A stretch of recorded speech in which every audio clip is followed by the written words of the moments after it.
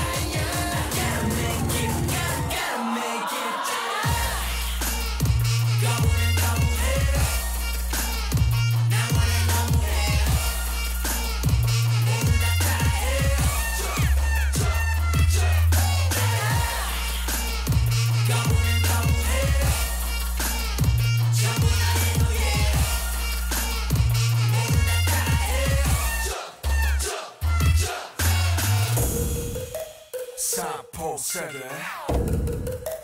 온포 세대 그럼 난 육포가 좋으니까 육포 세대 어른과 오늘은 이겨?